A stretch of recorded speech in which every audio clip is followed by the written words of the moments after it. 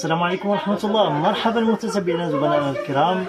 اولا قبل كل شيء كنعتذروا على ودية الغياب. راه الأسباب الصحية فقط. اذا الستوري اللي فات احتنا لكم مجموعة ديال المواضيع واختاروا أغلب الناس اختاروا الموضوع ديال الاثواب ديال البرد. واليوم إن شاء الله غادي نتكلم لكم على بعض الأنواع المستهلكة كثيرا يعني اللي كنحتاجوها بزاف. هي الاثواب ديال المريفة. وفي فيديو آخر غادي نقدموا لكم الجلابة الوزنية بالأنواع ديالها. فمرحبا. اذا ندوزو بسم الله. غادي نبدأو بالثوب ديال الكاشمير صوف كيفاش غادي نديرو تنعرفوه واش هو المزيان أو لا ماشي مزيان؟ أول مسألة يمكن لنا نراقبوها. هي الملمس ديال الثوب والرؤية ديالو كيبان فاش كتقيس الثوب ديال الكاشمير صوف كتلمس فيه داك الصوف واحد النوع ديال الحروشية شوية كتحس به ونازل في نفس الوقت. كتقلب من هنا ما كيكونش brillant كيكونش brillant. كيكون باين ال matière première ديالو أنها صوف. كما كتشوف واللي كتحكم على هاد الثوب هذا كتعرف الماتيير بروميير ديالو أنها صوف هي العافية.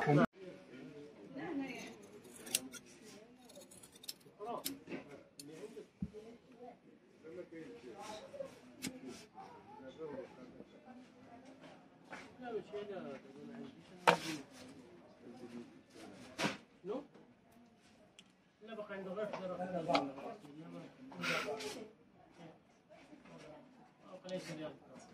اذا هادو اثواب ديال المليفة كاشمير فيهم 70% ديال الصوف 70% ديال الصوف داك 30% بوليستر باش كتشد الثوب كتعطيه واحد القيمة وواحد الوزن. اذا هذا ما كيكونش فيه واحد التلوينة اللي كثيره فيه واحد الألوان كثيره الثواب ديال على برا. يجيو كما هكا مثلا فيه ال beige grenat taupe gris المهم الألوان الرجالية. كاين فيه الكحل الرصاصي وألوان أخرى. المهم ما كتكونش تلوينة كثيره بحال الاثواب ديال المليفة اللي الشركات ديالهم عندهم المقرات هنا في المغرب النوع الثاني ديال المليفه هو المليفة ديال القطن اللي كما قلت الشركات ديالها موجودين هنا في المغرب. فيها تلوينة كثيرة ثواب حتى هي مزيانه أصيلية وكذلك غادي نحاولوا نجربوها حتى بالعافية باش نشوفوا نجربوها بالنار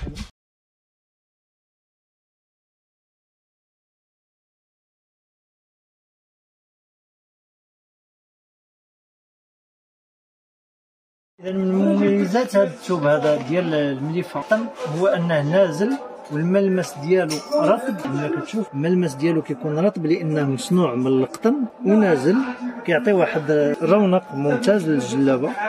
وكيجيو فيه ألوان عديدة.